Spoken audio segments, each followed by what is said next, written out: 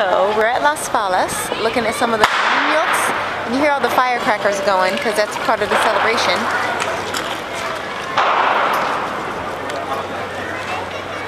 They're going to burn that down later. They take like a year to build.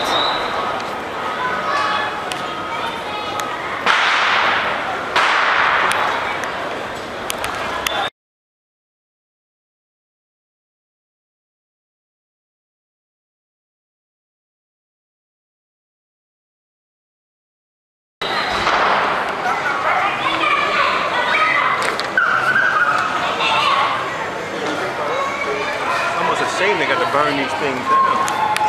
I know. They're really beautiful. It's sad that they burn them down. They're so pretty.